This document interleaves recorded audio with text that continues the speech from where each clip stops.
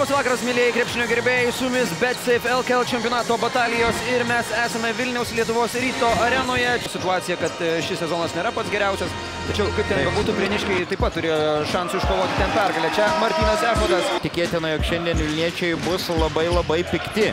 Benas Medžinas su Petersu ir čia Martynas Efodas. Oho! Kuris neregistruotas rungtynėms, jam 17 metų, jis dar žais regionų krepšinio lygoje, turi dvigubą licenciją. Reinhardas, jo puikus driblingas su kamoliu, Reidas arčiau krepšio, dar du taškai. Na, Reinhardas Dzukija kiek apmažino savo atsilikimą, tai jau yra nedidelė pergalė. Baronas atšokęs atakuoja, du taškai, 23-12. Baronas. Čia susikūrė savo progą metimui. Hernandesas. Jo prasiržimas, puikus perdavimas Wow. Petrilevičiui ir šis vos. Taip, jis iki šio mačo vidutiniškai rinkdavo po 15 taškų ir šį sezoną turėtų būti Dzukijos polimo lygiai. Navickas.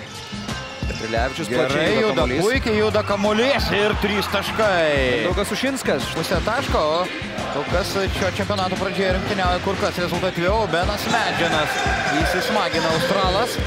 Richardas 11 metimų iš žaidimo atliko per du... Oi, koks puikus perdavimas ir pramiegojo Keitinas Richardas. Nėra kaip atsipalaiduoti nuo Petersono, greitos ir jo kojos, čia Sušinskas, koks sudėtingas metimas. Atkovotų kamuolių grafoje šiek tiek net ir gėdinga pristatyti save kaip vidurio polėjų. Ir Martinas Sehodas. Pataiko Rusas. Kedraitis ir čia Echodas pataiso netaiklų Kedraičio metimą. Džiau... Iš e, trijų taškų zonos. Čia Echodas iš viršaus.